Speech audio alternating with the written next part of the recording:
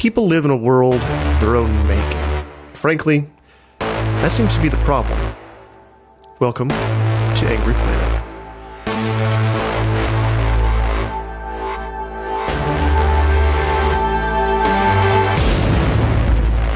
Hello and welcome to Angry Planet. I am Jason Fields. And I'm Matthew Gault. Imagine being trapped below ground for weeks, surrounded by soldiers, bombs dropping just a few feet above your head. Food is scarce, rats are everywhere. Is survival possible, and what would it even look like? A trip back home or to a Russian prison? That was the situation during the siege of Azovstal steel plant in Mariupol, Ukraine. Michael Schwirtz of the New York Times has put together a comprehensive look at the siege, which is being called Ukraine's Alamo. He's joining us today to describe what he found. Thank you so much for joining us. Sure thing. Can you give us a rough outline of the story of the siege? Who was there? How long did it last? I mean, it begins obviously like everything else on February 24th. Uh, Russian forces launched a full scale invasion of Ukraine in the wee hours of that morning. Bombs started falling, I think, around 4 a.m., at least where I was in the east of Ukraine. That's when they started falling. And very quickly, it became clear that Mariupol, this very strategic port city on the Sea of Azov in southern Ukraine, was going to be a focal point of an initial thrust. Russian forces spilled out of the Crimean Peninsula, which was occupied by Russia in 2014. They spilled over the border from Russia proper and basically within days surrounded the city. Ukrainian forces, as they did everywhere, tried to mount a very speedy defense. But unlike in places like Kiev, where that defense was successful, and further west of Mariupol towards Odessa, where I'm now, where Russian forces or where Ukrainian forces pushed Russian forces back. Um, Mariupol, the defenses, the Ukrainian forces quickly folded and had to melt back into the city. And after a few weeks of very intense fighting, where they ended up was in this massive steel complex that basically hugged the coast of Ukraine on the Sea of Azov. Both civilians and and soldiers fell back to this place as the safest place they could be to weather the storm that they were in. You said that in your story that there were 30 something bomb shelters in the steel plant? Correct. Correct. 36. 36. I would think. Okay. Why were all of these bomb shelters there? You, could be amazed how many places you go into in this part of the world that have bomb shelters. Uh, it's a quirk of the Cold War. These, these lands in, in eastern Ukraine and far western Russia were the site of some of the most fierce fighting in World War II. Azovstal itself, which was built in Stalin's Soviet Union in 1933 was partially destroyed, both in the Nazi occupation of Mariupol and the lands beyond it, and in the Soviet effort to retake it. And so, when they were rebuilding Azovstal, as they were doing in so many other industries after World War II, they had war on their minds, and it was felt that in these big industrial enterprises, this would be a place where people could go to find safety eh, should any any you know should war break out again and they were kept stocked with food and uh, more or less. I mean, are we talking about food that dated back to the Cold War, or were these no, no? So what happened? They had fallen into disrepair in the '90s. The Cold War ended. The threats of nuclear annihilation seemed to recede from people's minds. These, I don't know what these bomb shelters were used for in the 90s and early 2000s, but they were not. Hiding from missile strikes was not on anybody's mind during this period after the Soviet collapse. But what did happen was in 2014, Russian the Russian military, along with separatist fighters, occupied uh, large chunks of eastern Ukraine and for a time occupied Mariupol. And once again, Mariupol ended up being at the center of a fight. And it was at this time that the executives of Azovstal decided the occupation at that point was a failure. Ukrainian forces pushed the occupiers back out, but the line of control, the line at which where Ukrainian forces and the separatist forces backed by Russian troops and equipment were fighting was just a few miles outside of Mariupol. And so the executives of the, of the plant decided perhaps these bomb shelters might come in handy now that we're so close to a front line of, a, of an active war. And they began to revamp them, start stocking them with food, and they began to actually um, run for workers there um, so that they would know how to use these bomb shelters in the case of an emergency. And I guess an emergency certainly came. Who was there during the siege? Was it mostly civilians, soldiers?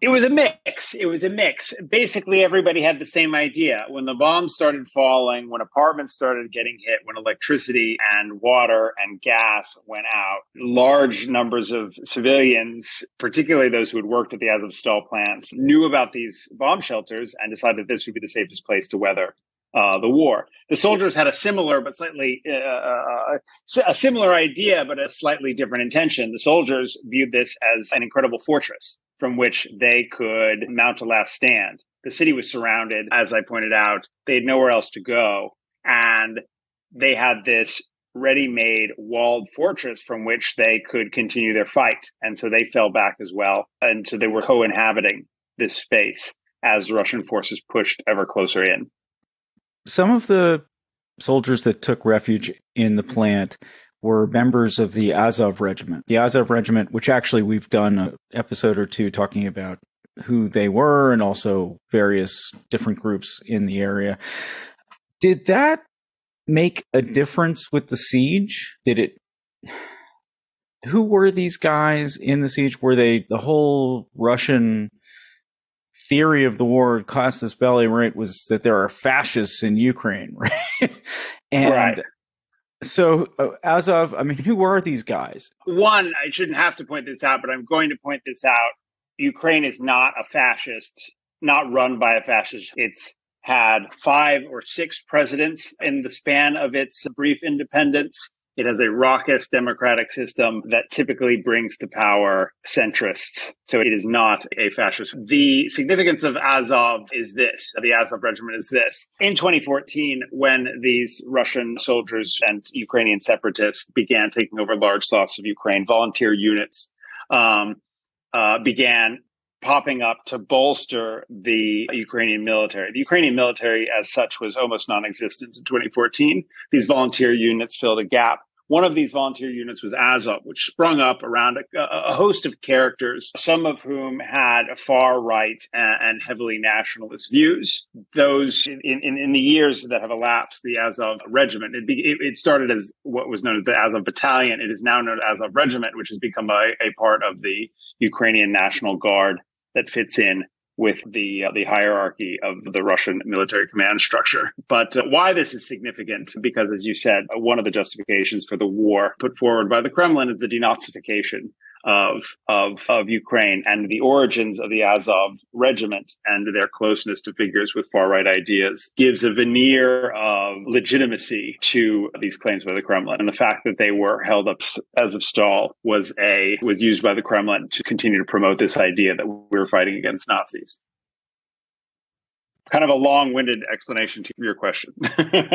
no, I think that's an important context for that. So I think that's probably when I write Ukraine stories or I talk to people about Ukraine, that's probably one of the questions people ask me the most because it, the their Azov is media savvy and the Kremlin's yeah. been pretty good about getting them put forward first, and a lot of my friends are on the political left, and so it's something I hear come up a lot. So I think it's just important to hammer home what their actual place is within the Ukrainian military. They are one. It's important to point out that they are within the Ukrainian military. This is not some fringe group that sort of operates outside of it. This is with this entity now, as it exists, is firmly woven into the Ukrainian military. And the individuals who were at Azovstal, some of them were longtime Azov regiment fighters. Some of them had long retired and volunteered to come back when the war started. And some of them were just simply Ukrainian men who, on February 24th, went to their local draft office, said, sign me up for the war, and were placed within the Azov regiment, as they were placed in many other units within the Ukrainian military. Can we talk a little bit about what conditions were like at Azovstal? Start off maybe at the beginning and then just how desperate things got. We're talking about a siege that took place over months. So at the very beginning, it's important to understand that this place was designated as a place of shelter. The executives of Azovstal had been preparing these bunkers for years to serve as a shelter for people. And so it was equipped with food, with water. There are showering stations. There are small kitchens that you could cook at. There was fuel. And so it had, it was provisioned to serve, the general director of the plant told me it was provisioned to serve 11,000 to 12,000 people, which is an, the entire staff of the plant for about three weeks. What you had there were the numbers that ended up there. You had about 3,000 Ukrainian troops that ended up there, plus about several hundred civilians who ended up there. And very quickly, these provisions began to run out. Water began to run out very quickly. The food had to be rationed after a few weeks to the point where where people were adults were only getting about one meal a day, usually thin soup of canned meat and water that was heated over a wood-fired stove. The electricity went out pretty quickly. They were able to get by with generators for a time, but uh, but very quickly the fuel ran out and in, in many cases, that they were living in the dark. They jury rigged batteries from cars to power LED lights for light at times. But this became very quickly very grim, dark, dank place from which to seek shelter from near constant bombardment. The bombardment of Azovstal began in earnest in the first days and weeks of the war, and it did not let up for more than a few hours until the last soldiers left left the plant in late May. Were they fighting along the wall around the plant, or were people just huddled in the bunkers the whole time? So until about mid-April, there were units of fighters that were able that that were in fact leaving the plant and taking the fight to the Russians. It was a, it was very intense, very deadly urban warfare environment in which small units of Russian troops were making these kind of lightning raids into the city to do battle with Russian forces. But they were eventually overwhelmed, and by by about April twentieth or so, almost all of the units had been pushed back to inside the walls of Azovstal they would come out to repel attempts to to storm the the factory. There were several attempts by Russian forces to storm it, and none of those until the very end were successful. But after about April 20, 25th or so, there was very little that the uh, the troops could do outside in the open. What was so important about the plant? Or was it just that people were stuck there?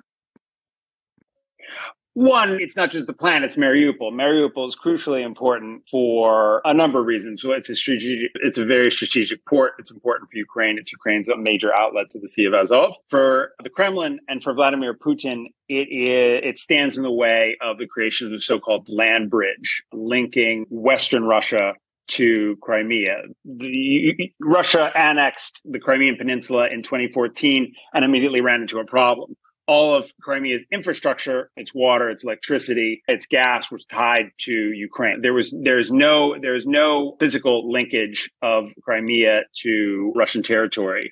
And so very quickly the Ukrainians sought to starve Crimea of resources to cut off the water in particular. And so there had been perennial problems for eight years getting water into Crimea. Russia eventually built a bridge linking mainland Russia to southern Crimea, but that wasn't to keep the entire peninsula supplied with basic, basic utilities. And so it has long been a desire of the Kremlin to create this land bridge, carving out a chunk of Ukrainian territory that would connect Russian land to Crimea. And Mariupol stands basically as like the as the, the gateway to that land bridge. So that's why taking the city was so important. And the plant itself was central. And the plant itself is yeah. it's I was the plant itself, along with another plant, a steel plant, w- were central to the city's economy. Every a large chunk of the city worked in steel. The plant fed the economy. There was very little work outside these sort of big heavy industries, and Azovstal is this m- mammoth sort of monument to to the industry of the area. My next question is: How did people at the plant communicate with the outside world. Or, I mean, at the beginning, they weren't. You write about something called Operation Air Corridor, and that was crucial yeah. to communication and a lot of other things. Correct. Communications were cut off fairly early. I think cell phone service went down about March 2nd. The executives of Azovstal lost full communication with their people in the plant, I think in March 8th. And there had there was spotty communications between the fighters in Azovstal and their commanders outside of it for about for several weeks before before the, this Operation Air Corridor was put into place. Basically, what the Ukrainians decided, their guys were completely surrounded in this factory. Um, there was no way to resupply them by land. There was no way to resupply them by sea. Russian forces had taken, in addition to Mariupol, controlled about 100 kilometers of land between Mariupol and Ukrainian controlled territory in the Zaporizhia region.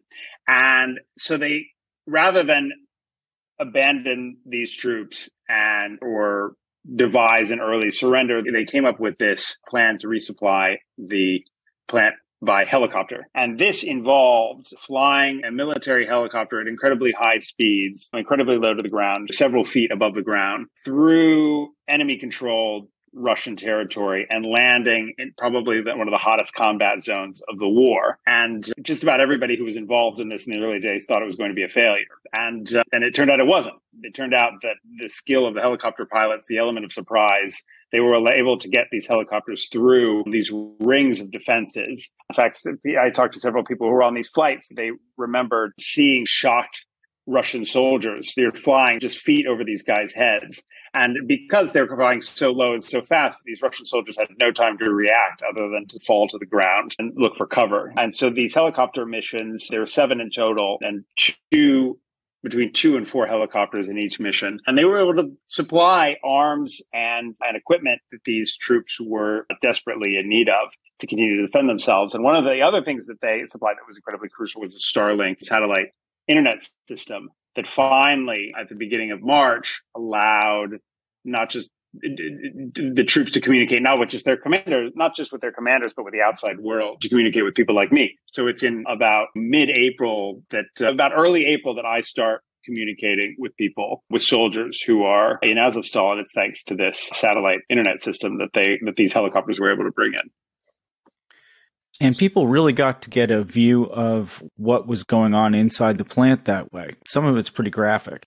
You mentioned that the Azov guys were savvy, and they were particularly savvy in this case. They realized, I think, early on that fighting alone was not going to get them out of this. They needed to attract the world's attention. And so they started sending out these videos of conditions in the plant. Some of them involved trips they would take to civilian areas. I should point out that the soldiers and the civilians were not in the same areas. Like I said at the beginning, there were 36 bomb shelters. The soldiers were in one part of the plant civilians were in another part of the plant and they very rarely saw each other and interacted. So the soldiers would occasionally make trips to the civilian section of the plant to bring supplies that they had gathered for the civilians and sweets for children and things like that. And after the Starlink system arrived, they also began making videos interviewing the children who were uh, locked in these bunkers, and there are these touching scenes of children saying they want to, they just want to see the sun again, they want to see their friends again, they want to see their families again. These scenes of desperation by these people who were trapped there, and they also began sending videos of what their conditions were like. At one point, one of the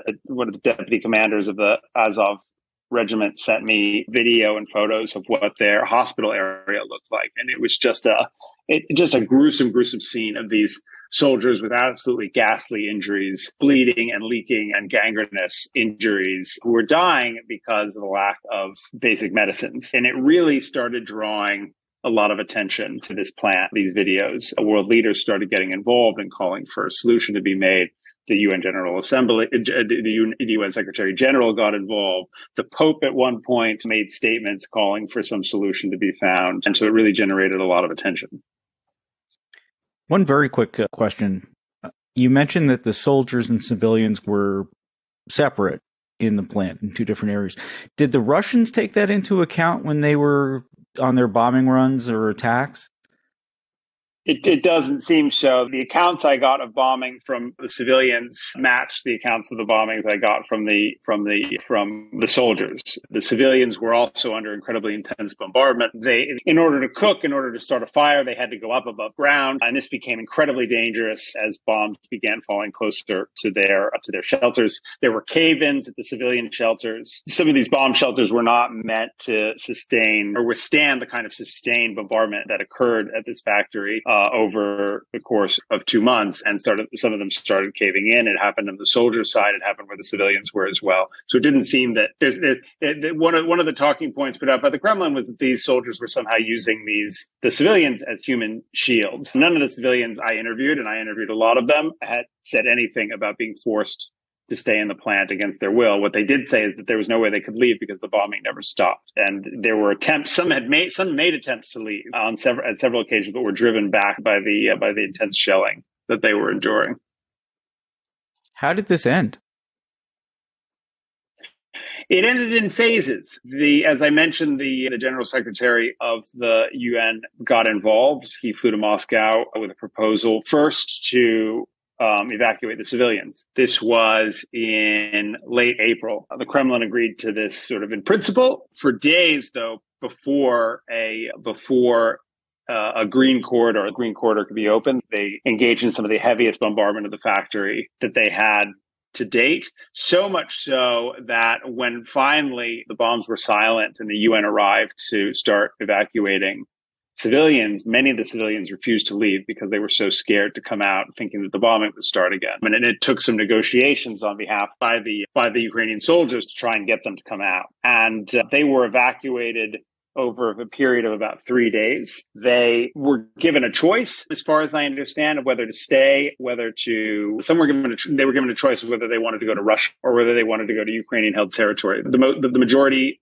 decided to go to Ukrainian territory. Some decided to stay in Mariupol to look for loved ones that they had not been in touch with since the beginning of the war. But the vast majority were put on buses and taken to Ukrainian territory, not before going through what is called filtration, where they were interrogated by Russian troops about what they knew about about soldiers' locations within the within the plan. They were checked. Men, in particular, were checked for tattoos, strip search, and checked for tattoos that might indicate some affiliation with with the Ukrainian armed forces, but eventually most of them made their way to Ukrainian held territory.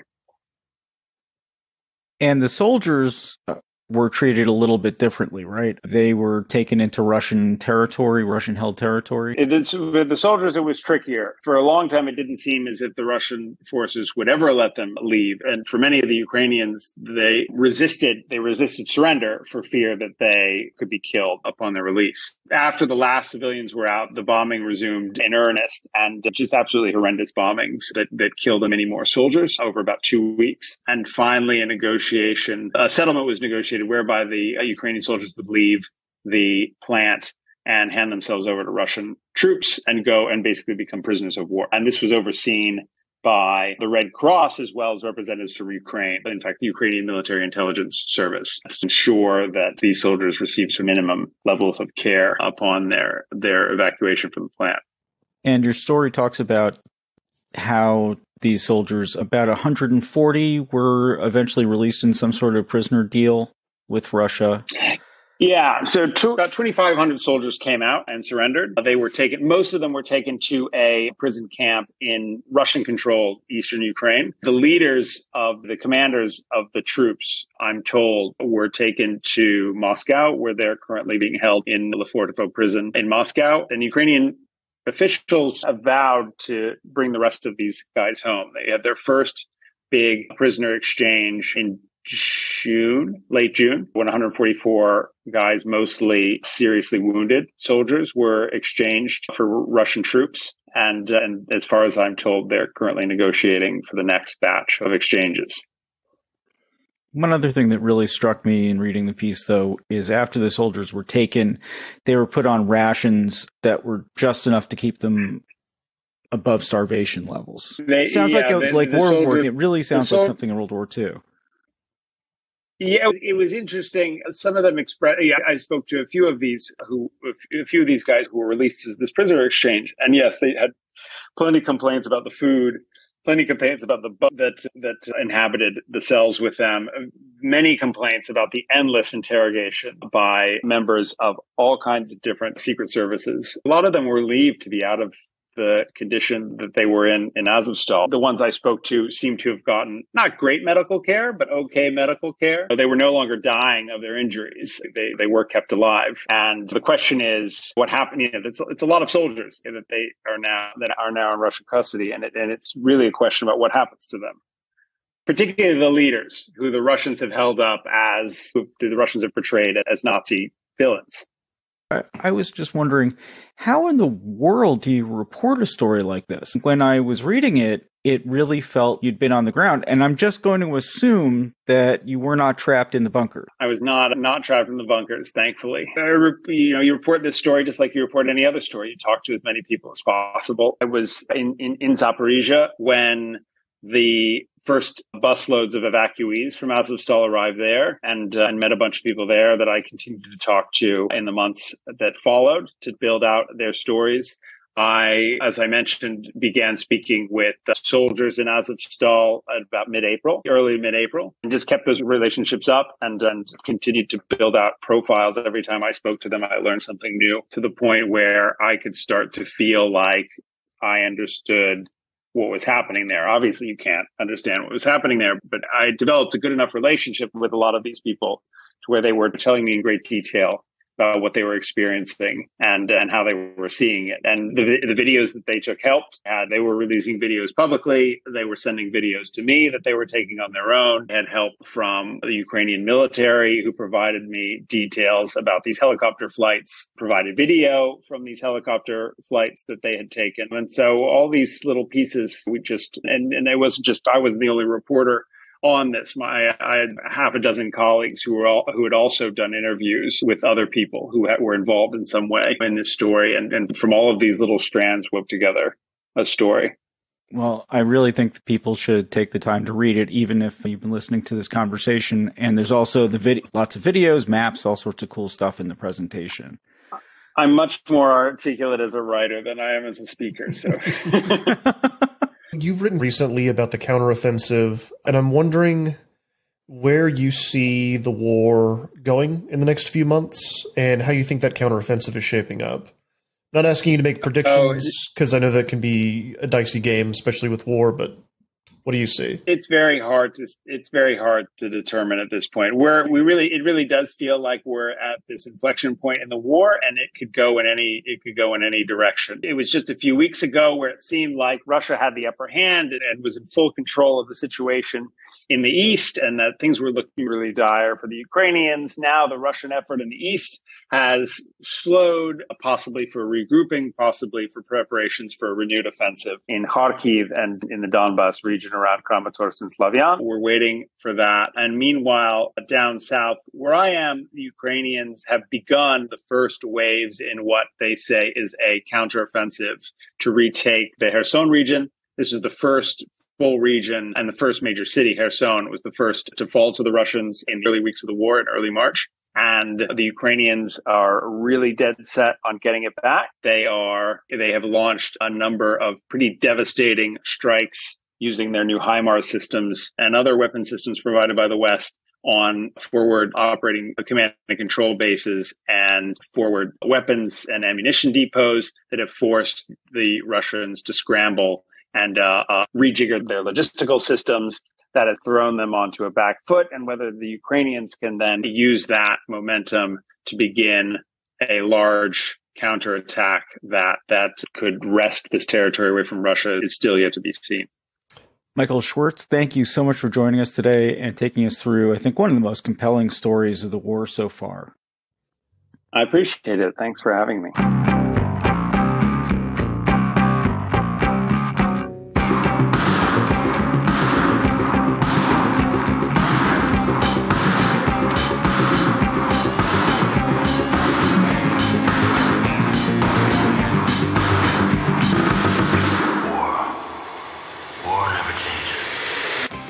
That's all for this week, Angry Planet listeners. As always, Angry Planet is me, Matthew Gault, Jason Fields, and Kevin Knodell. If you like us, please go to angryplanetpod.com and kick us $9 a month. It's again at angryplanetpod.com or angryplanet.substack.com. Get commercial free episodes of the mainline episodes and bonus episodes and occasional posts. Uh, it does help us keep the show going. Uh, Jason and I are very busy these days, and we need a little encouragement. But we are still thriving. We're still doing this.